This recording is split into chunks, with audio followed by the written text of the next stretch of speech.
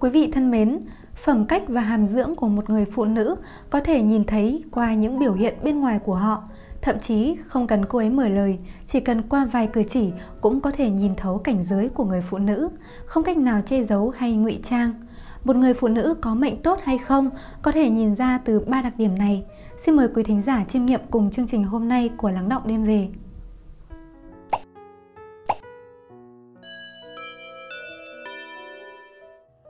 Quần áo Ngày hè nóng nực, nhiều cô gái vì muốn mát mẻ nên trang phục càng ngày càng ngắn để lộ da thịt.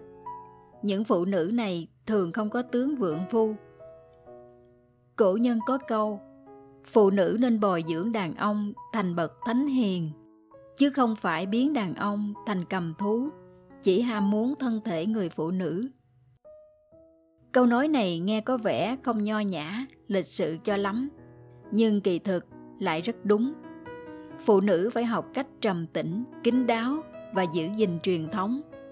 Bởi vì người phụ nữ là có liên quan đến lẽ thịnh suy và hưng vong của cả gia tộc. Thế nên không thể không dịu dàng, kín đáo. Tiêu chí này nói lên sự giáo dục và tu dưỡng của người ấy. Cũng quyết định cô ấy có mệnh tốt hay không phụ nữ thuộc về âm. Âm cần phải kín đáo, mà nơi đầu tiên thể hiện là quần áo. Đàn ông đối ứng với trời, phụ nữ đối ứng với đất.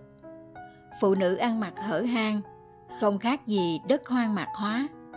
Mà đất bị hoang mạc hóa, thì sao có thể khiến cây sinh trưởng? Thật đáng tiếc. Nhiều người phụ nữ ngày nay không còn nhận thức được ý nghĩa thực sự của việc kính đáo những người phụ nữ ăn mặc hở hang thường mất đi phúc khí. Phụ nữ càng hướng nội, phúc báo càng sâu dày. Đây cũng là kiểu người biết ẩn tàng. Người phụ nữ, nếu thiếu sự nhẫn nại khiêm nhường, thông thường đứng ngồi không yên hay ở bên ngoài, ở nhà lâu không chịu được, điều này không tốt.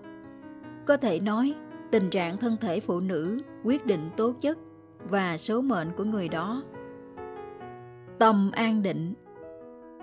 Người phụ nữ có thể ẩn tàng, thì nội tâm vững vàng, có tịnh khí. Đặc điểm dễ nhận thấy là có tâm an định, không dễ bị ngoại cảnh tác động, không dễ lo lắng, mất bình tĩnh, giữ được sự điềm đạm. Đây đều là phúc khí. Một người sắc thân không thanh tịnh thì cũng không dễ mà khai mở trí tuệ. Lấy một ví dụ thế này, có người mê xe bmw vì không có được loại xe yêu thích mà cảm thấy thống khổ.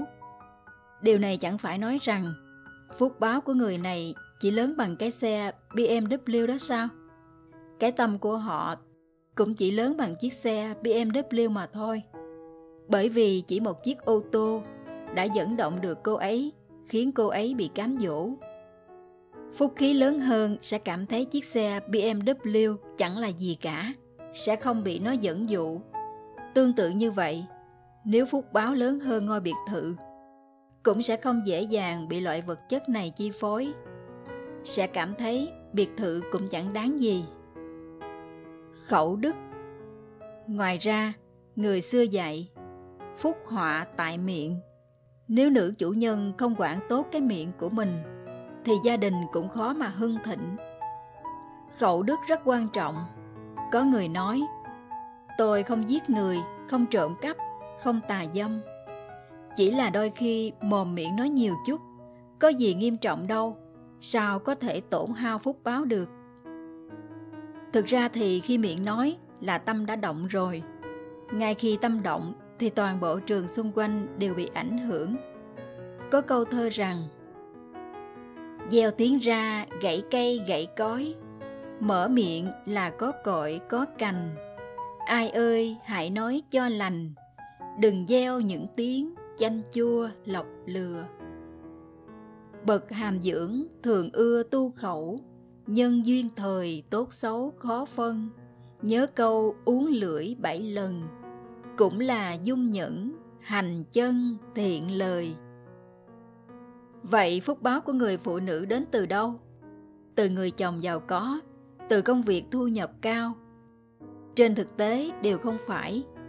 Phúc báo đến từ chính bản thân người phụ nữ. Phúc báo của người ta được tích lũy qua nhiều năm.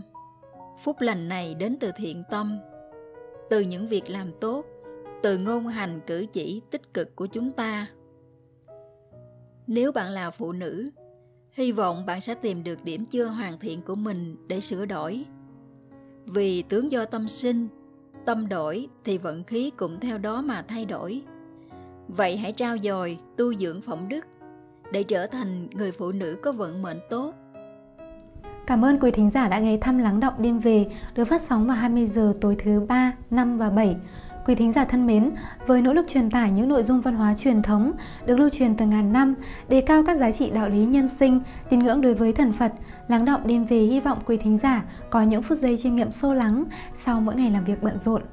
Đừng quên chia sẻ cảm nhận của quý vị ở bên dưới để giúp chúng tôi thực hiện chương trình tốt hơn.